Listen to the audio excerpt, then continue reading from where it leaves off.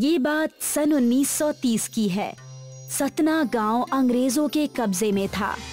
सारे अंग्रेज़ उनसे दो गुने लगान लिया करते थे और उन्हें खूब परेशान किया करते थे।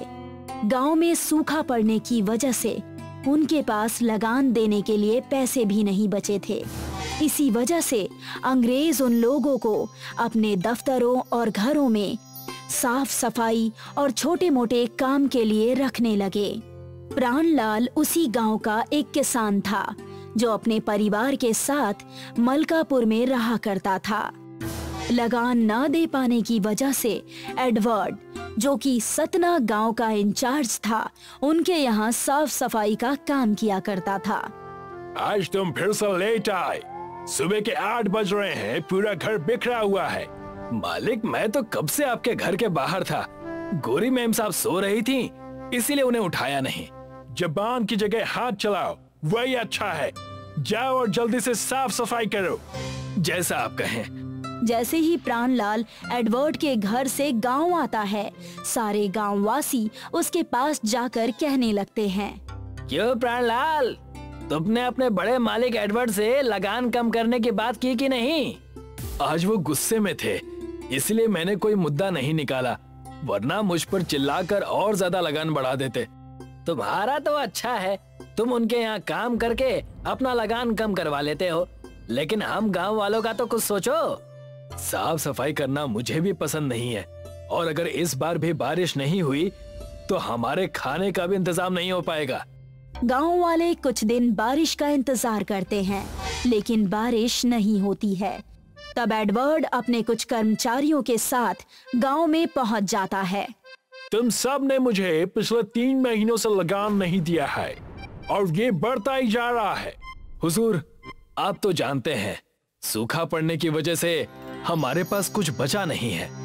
राशन भी हम थोड़ा थोड़ा करके खा रहे हैं। इससे हमें क्या? हमें लगान दो, वरना तुमसे हम सब कुछ छीन लेंगे। तुम्हारा घर, ज़मीन सब, और अंग्रेज़ी हुकूमत को सौंप देंगे। अगर आपने ऐसा किया तो हम कहाँ जाएँगे? क्या खाएँगे? इस गाँव के अलावा हमारा कुछ भी नहीं है। कृपया करके हम पर रहम खाएँ। इनके घरों से सारा कीमती सामान ले लो। सिर्फ़ कुछ ही दिनों के खाने का राशन पूरे गाँव के पास बचता है। और राशन की समस्या लेकर सारे गाँव वाले सोच विचार करने लगते हैं। इन कुछ दिनों के राशन से हमारा कुछ नहीं होने वाला। हमारे पास कोई दूसरी तरकीब भी तो नहीं है। बस एक रास्ता है। हमें चल के हमारे पितृदेव को मनाना होगा। तब जाकर कुछ उपाय निकलेगा। उसके अलावा कोई और तरकीब नहीं है। सारे गाँव वाले उदास चेहरे और दया की भीख मांगते हुए पितृ देवता के मंदिर के पास चले जाते हैं। हे नाथ हमारी रक्षा करना। ज़रूर हमारे पूर्वजों ने कुछ तो अच्छे काम किए होंगे। गाँव के बूढ़े बच्चे सब भूखे हैं। कृपा करें, देवता। कृपा करें। उन सब की प्रार्थना सुनकर वहाँ पर उनकी कुल देवी प्रकट हो जाती है। चिंता मत करो। इस मंदिर की मिट्टी ले जाओ और उस मिट्टी का विशाल चूल्हा बनाकर उसमें खाना बनाओ। वो चूल्हा पानी से जलेगा। और याद रहे, शुरुआत कुछ मीठे से करना। जो भी तुम उसमें बनाओगे, पूरे गाँव वालों के लिए भर पेट होगा। इतना कहकर कुलदेवी अदृश्य हो जाती है। सारे गाँव वाले खुश होकर मंदिर की मिट्टी से एक बड़ा और विशाल चूल्हा बनाकर तैयार कर देते हैं। वो तो अच्छा हुआ इस बार मेरे खेतों में थोड़े से गाजर उग गए थे। इस चूल्हे में सबसे पहले गाजर का हलवा बनेगा। उनके इतना कहते ही सारे गाँव के लोग गाजर का हलवा बनाने की तैयारी करने लगे। चूल्हा पानी से जलाने के लिए पानी भी तो नहीं है। मेरे घर एक हंडा पानी रखा है। मैं उसे लेकर आता हूँ। प्राणलाल विशाल चूल्हे में सीढ़ी से चढ़कर सारी सामग्री चूल्हे में डाल देता है। जैसे ही गाँव वाले चूल्हे में पानी डालते हैं चूल्हा जलकर तैयार हो जाता है। कमाल हो गया। हम सबकी प्रार्थना काम आई। ऐसा लग रहा है हमारे पुराने दिन वापस आ गए। सबने बड़े चाव से गाजर का हलवा खाया। कई दिनों बाद ऐसा लग रहा है कि भर पेट खाना खाया है। बस किसी तरह बरसात हो जाए। जब खाने और पहनने की सुविधा हो गई है तो अब किस बात की चिंता? उन अंग्रेज़ों को इस चूल्हे के बारे में अगर पता चला तो सब चौपट हो जाएगा। हमें तो बस तुम्हारी चिंता है। कहीं तुम अपना मुँह ना खोल दो। तुम ऐसा सोच भी कैसे सकते हो? मैं ऐसा भला क्यों करूँगा? गाँव मेरा भी है और मैं पानी के चूल्हे के बारे में किसी से नहीं कहूँगा। तुम आज कहो काम करने क्यों नहीं आते? वो क्या है ना? अब खेती का समय आ गया है और कई सारे अन्य घर के कामों की वजह से मैं नहीं आ पाया और अब मैं आपके यहाँ साफ़ सफ़ाई नहीं कर सकता। प्राणलाल एडवर्ड और उसके कर्मचारियों के सामने ये सारी बातें करके चला जाता है। इस पल्ले का कुछ करना पड़ेगा। बहुत ज़्यादा बोल गया।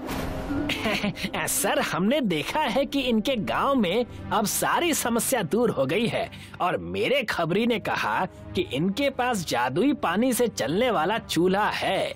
उस चूल्हे पर पानी डालने से खाना पूरे गाँव के लिए बन जाता है। What nonsense! ये क्या बकवास है? अगर आपको हम पर भरोसा नहीं है तो आप चलकर उस गाँव में खुद देख लीजिए। एडवर्ड अपने कर्मचारियों के साथ उस गाँव में जाकर देखता है और वहाँ जाकर उसे पता चलता है कि कर्मचारियों की बात सच है। एक बड़ा विशाल चूल्हा उन्हें दिखाई देता है। I can't believe this. हमें वो चूल्हा अपने कब्जे में लेना होगा। आ, इसके लिए कई सारे हाथी लगेंगे क्योंकि वो चूल्हा बहुत ही बड़ा है। आ, उसे इंसान लेकर नहीं जा सकते।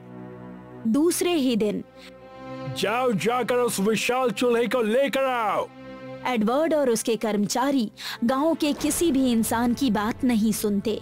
एडवर्ड और उसके कर्मचारी वहाँ पर कई सारे हाथी लेकर विशाल पानी से जलने वाले चूल्हे को लेकर चले जाते हैं।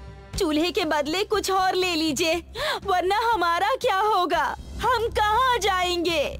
और उसे अपने घर लेकर चले जाते हैं। अब हम क्या करेंगे? कई दिनों बाद गाँव में खुशियाँ आई थी। इन अंग्रेज़ों से ये भी देखा नहीं गया।